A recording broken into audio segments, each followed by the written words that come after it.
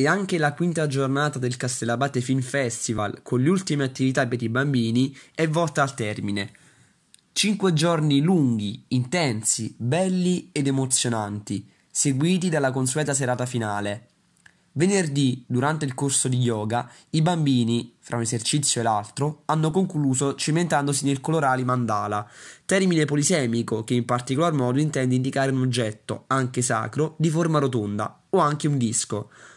Durante lo storytelling i bambini hanno concluso quanto cominciato nella giornata di giovedì, ovvero unione di molteplici disegni realizzati nelle giornate precedenti su dei cartelloni o a fascicoli con lo scopo di creare una storia.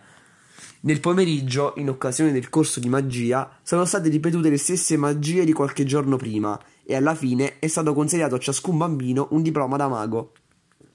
Il tutto si è concluso con il teatro di burattini e bolli di sapone, per poi dare spazio all'ultimo talk show delle 19.